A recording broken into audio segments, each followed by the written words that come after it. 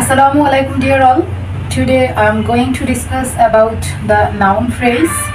And uh, তোমরা জানো যে প্রিভিয়াস ক্লাসে কিন্তু what is noun phrase difference between phrase sentence clause এই সব কিছুই আলোচনা করেছি। এবং আজকে হচ্ছে ফ্রেজের যে ক্লাসিফিকেশন সেই ক্লাসিফিকেশনের মধ্যে নাউন ফ্রেজ আলোচনা করব। আরও ফ্রেজ রয়েছে অ্যাডভার্বিয়াল ফ্রেজ রয়েছে verb phrase prepositional phrase conjunctional phrase ফ্রেজের details আলোচনা হবে পার্ট বাই পার্ট তো আজকে আমরা শিখব নাউন ফ্রেজ ওকে তো যারা ফ্রেজের ক্লাস করেছ, তারা অলরেডি জানো যে ফ্রেজ কাকে বলে? Phrase is a group of words which acts like a single element R single parts of speech of a sentence okay so চলো নাউন ফ্রেজ শিখি। নাউন ফ্রেজ লিখেছি আমরা এক্সাম্পলের মাধ্যমে নাউন ফ্রেজ শিখব। নাউন ফ্রেজ একটু কর্নারে লিখেছি দেখো। নাউনের কাজ করে। নাউন ফ্রেজ কিসের কাজ করে? নাউনের কাজ করে। ভার্বের সাবজেক্ট অবজেক্ট কমপ্লিমেন্ট প্রিপোজিশনের অবজেক্ট রূপে কাজ করে। যেহেতু নাউন ফ্রেজ সুতরাং এটা তো অবভিয়াসলি নাউনের কাজই করে। কিন্তু এই যে নাউন নাউন একটা সেন্টেন্সে কোথায় কোথায় বসে? একটা নাউন সেন্টেন্সের সাবজেক্টের জায়গায় বসে অবজেক্টের জায়গায় বসে কমপ্লিমেন্ট হিসেবে বসে, কখনো কখনো প্রিপোজিশনের অবজেক্টের জায়গায়ও বসে। তার মানে আমরা বলতে পারি কি? যে নাউনের কাজ করে অর্থাৎ ভার্বের সাবজেক্ট অবজেক্ট কমপ্লিমেন্ট অথবা প্রিপোজিশনের অবজেক্ট রূপে কাজ করে নাউন ফ্রেজ ওকে তাহলে আমরা একটু এক্সাম্পলে যাই, দেখো। To take physical exercise is good for health number one যে এক্সাম্পলটা লিখেছি to take physical exercise is good for health অর্থাৎ ফিজিক্যাল এক্সারসাইজ শারীরিক ব্যায়াম নেওয়া হচ্ছে স্বাস্থ্যের জন্য ভালো।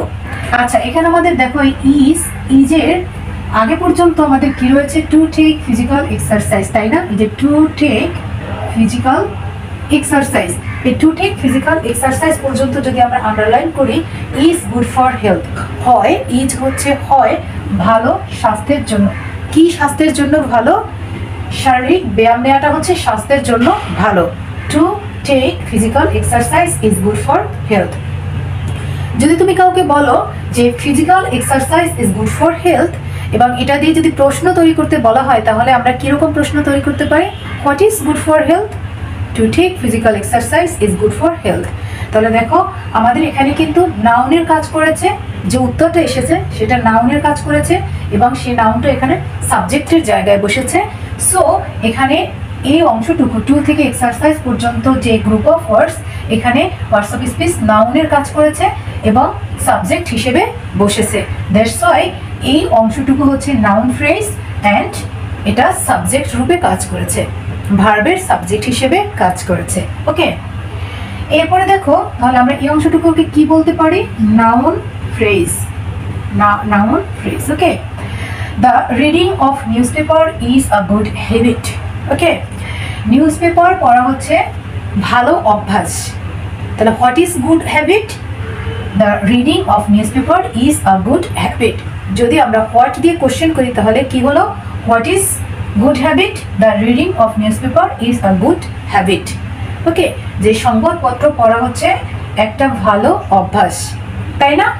তাহলে এখানে যদি আমরা সেই প্রথম উদাহরণটার মতোই যাই, যে ইজের আগ পর্যন্ত the reading of newspaper পর্যন্ত যদি আমরা আন্ডারলাইন করি, তাহলে এই অংশটুকু হচ্ছে নাউন ফ্রেজ তাহলে ইজের আগে দ্য থেকে অফ নিউজ পেপার পর্যন্ত অংশটুকু নাউন ফ্রেজ এবং এই নাউন ফ্রেজটুকু এখানে সাবজেক্ট হিসেবে কাজ করেছে এই সেন্টেন্সে okay third sentence is his coming here is uncertain তার এখানে আসাটা অনিশ্চিত। ওকে তাহলে কি অনিশ্চিত? তার এখানে আসাটা অনিশ্চিত। ইজ কামিং হেয়ার এটা হচ্ছে অনিশ্চিত। তাহলে এই অংশটুকু কি? Noun phrase noun phrase okay PH মানে ফ্রেজ তাহলে এই ইজ এর আগের যে অংশটুকু হিস থেকে শুরু করে হেয়ার পর্যন্ত, এই অংশটুকু হচ্ছে নাউন ফ্রেজ এবং এটা এখানে সাবজেক্ট হিসেবে কাজ করেছে।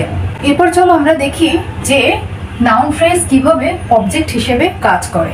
তো নাম্বার ওয়ান যে এক্সাম্পল সেটা হচ্ছে খেয়াল করো I know the ins and outs of it আমি এ বিষয়ে খুঁটিনাটি সব জানে। I know the ins and outs of it অর্থাৎ আমি এ বিষয়ে খুঁটিনাটি সব জানি ওকে তাহলে দেখো, এখানে নো হচ্ছে জানা, এবং এই যে ins and outs of it B থেকে শুরু করে এতটুকু হচ্ছে যে কি জানি, আমি ins and outs of it এটার খুঁটিনাটি সব জানি। আমার যে এই জানা, কি জানি হ্যাঁ সে জানার অংশটুকু কিন্তু এখানে অবজেক্ট হিসেবে কাজ করেছে। এখানে নো ভার্বের এই নো হচ্ছে ভার নো ভার্বের অবজেক্ট হিসেবে কাজ করেছে। দ্যাটস ওয়াই এই অংশটুকু হচ্ছে কি? নাউন ফ্রেজ বিকজ আমরা জানি নাউন ফ্রেজ ভার্বের সাবজেক্ট অবজেক্ট কমপ্লিমেন্ট এবং প্রিপোজিশনের অবজেক্ট হিসেবে কাজ করে। তাহলে এখানে হচ্ছে কি? অবজেক্ট হিসেবে কাজ করেছে এবং এই অংশটুকু হচ্ছে noun phrase noun phrase and এখানে অবজেক্ট হয়ে কাজ করেছে। ওকে আচ্ছা এরপরে যাও নাম্বার টুতে the man gave him food and clothing লোকটি তাকে কি দিয়েছিল? খাবার এবং পোশাক দিয়েছিল ফুড অ্যান্ড ক্লথিং যদি প্রশ্ন করা হয় যে কি দিয়েছিল? খাবার এবং পোশাক দিয়েছিল ফুড অ্যান্ড ক্লথিং তাহলে দেখো, এই যে গেভ হচ্ছে গেভ ভার্ব এই ভার্বের এখানে এই পুরো অংশটা কিন্তু অবজেক্ট হিসেবে কাজ করেছে। That's why it is noun phrase okay এরপর দেখো number three she wanted to have a cup of tea সে এক কাপ চা চেয়েছিল। সে এক কাপ চা পেতে চেয়েছিল, তাই না? তাহলে এই যে দেখো ওয়ান্টেড সে চেয়েছিল।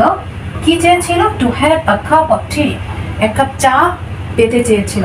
এই অংশটুকু হচ্ছে অবজেক্ট হিসেবে কাজ করেছে। এখানে ওয়ান্টেড ভার্বের অবজেক্ট হিসেবে কাজ করেছে। তোমরা দেখো অবজেক্ট হচ্ছে সেন্টেন্সের শেষে বসে সাবজেক্ট হচ্ছে সেন্টেন্সের শুরুতে বসে। আমরা একটু আগে শিখেছিলাম সাবজেক্ট হিসেবে, এবং সেখানের যে নাউন ফ্রেজ সেই অংশটুকু কি হয়েছিল? সাবজেক্টের জায়গায় বসে, বসেছিল, এবং সে কারণে কিন্তু সেটা নাউন ফ্রেজ এবং সাবজেক্ট হিসেবে ছিল। আবার এখানেও কিন্তু নাউন ফ্রেজ কিন্তু সেই নাউন ফ্রেজ অবজেক্টের জায়গায় বসেছে এবং এখানে অবজেক্ট হিসেবে কাজ করেছে। তাহলে আশা করছি তোমরা সাবজেক্ট হিসেবে এবং অবজেক্ট হিসেবে কীভাবে নাউন ফ্রেজ বসে শিখতে পেরেছ। আচ্ছা তাহলে এবার আমরা দেখি কীভাবে নাউন ফ্রেজ কমপ্লিমেন্ট হিসেবে কাজ করে। আচ্ছা number one he is a full time worker সে হচ্ছে ফুল টাইম ওয়ার্কার ওকে আমরা জানি কমপ্লিমেন্ট হচ্ছে সাবজেক্টেরই একটা এক্সট্রা ইনফরমেশন দেওয়া থাকে। সাবজেক্ট সম্পর্কে ইনফরমেশন যেটা দেওয়া থাকে, বাড়তি কোনো কথা বলা থাকে, তাকে কমপ্লিমেন্ট বলা হয়। অর্থাৎ যিনি সাবজেক্ট তিনিই হচ্ছে সেই ইনফরমেশন এই জাতীয় যে এক্সপ্রেশনগুলো তাকে কি বলা হয়? কমপ্লিমেন্ট বলা হয়। He is a full time worker এখানে দেখো হি যে সে হচ্ছে ফুল টাইম ওয়ার্কার ওকে এই যে এ ফুল টাইম ওয়ার্কার কে? এ ফুল টাইম ওয়ার্কার কিন্তু হি এই হি যিনি, তিনি হচ্ছে full time worker he is a full time worker তাহলে এই যে ফুল টাইম ওয়ার্কার এটাই হচ্ছে কমপ্লিমেন্ট এটাই হচ্ছে কমপ্লিমেন্ট এবং এই যে গ্রুপ অফ ওয়ার্ডস এটা হচ্ছে নাউন ফ্রেজ এবং এখানে কমপ্লিমেন্ট হিসেবে কাজ করেছে এবং দ্যাটস ওয়াই এই অংশটুকুকে আমরা বলব নাউন ফ্রেজ এবং এখানে কমপ্লিমেন্ট হিসেবে কাজ করেছে। কারণ আমরা জানি নাউন ফ্রেজ সাবজেক্ট হিসেবে অবজেক্ট হিসেবে কমপ্লিমেন্ট হিসেবে কাজ করে। ওকে আচ্ছা এরপর দেখো number two Rahim seems to be a thief রহিমকে চোর বলে মনে হচ্ছে। দেখো, কাকে চোর বলে মনে হচ্ছে? রহিমের সম্পর্কে তো একটা ইনফরমেশন দেওয়া হয়েছে, তাই না? দেখো, Rahim. Rahim seems to be a thief রহিমকেই কিন্তু চোর মনে হচ্ছে। এখানে অন্য কারও কথা বলেনি। এই রহিমের কথাই বলা হয়েছে, তাই না? তাহলে এই অংশটা হচ্ছে কমপ্লিমেন্ট এই অংশটা হচ্ছে কমপ্লিমেন্ট এবং এই আমরা জানি নাউন ফ্রেজ কমপ্লিমেন্ট হিসেবে কাজ করে। ওকে তারপরে নাম্বার থ্রি দেখো the ass is a beast of burden গাধা হচ্ছে কি? ভারবাহী পশু।